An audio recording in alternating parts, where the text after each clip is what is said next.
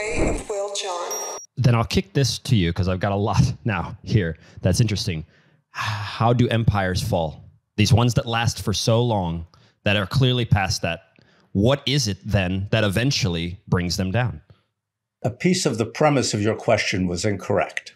Uh, it's a great question, uh, but we don't have lots of examples of empires past this point that fall. If by fall you mean internally, if you mean they lose their empire, that's a different matter.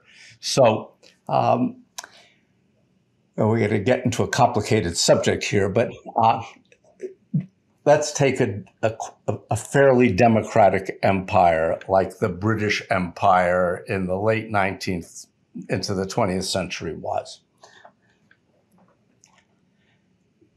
So, one of the mistakes that people make is they think that if you have a government that's benevolent in the sense that it has to do what we the people want, it's democratic, that that means it's benevolent towards other people.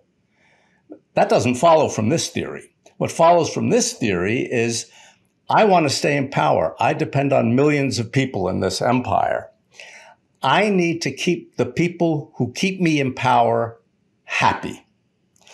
At the margin, that may mean engaging in very unpleasant foreign policies, giving foreign aid to dictators because they will sell out their people to give me policies I want in exchange for money with which they can bribe their coalition.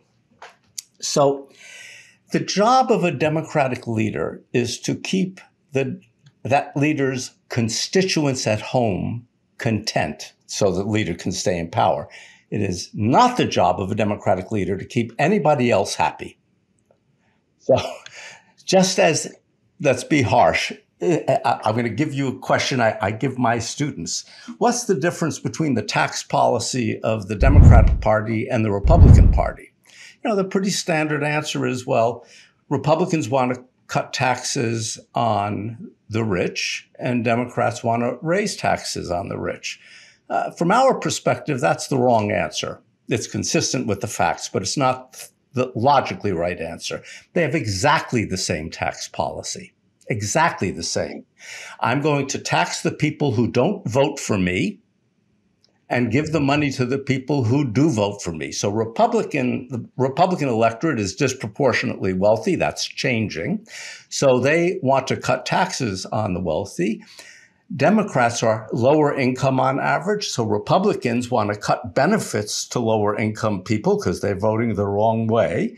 Democrats want to shift benefits to lower income people, that is, people who vote for them and do that by taxing people who vote Republican, wealthier people. No, no difference. So it's the same with, with empire. So the folks in the colonies are not happy with the government that's being imposed on them because it is serving the interests of the folks at home who keep you in power.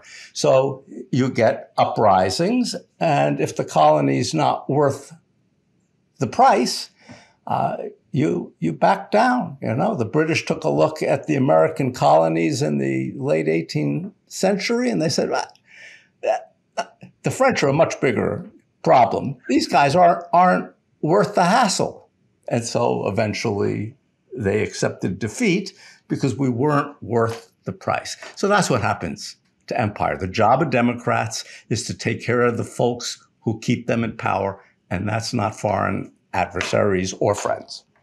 Oh!